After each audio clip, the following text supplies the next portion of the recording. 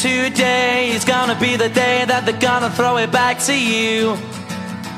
By now, you should have somehow realized what you gotta do.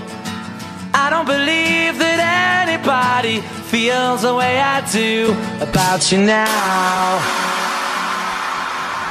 Because maybe.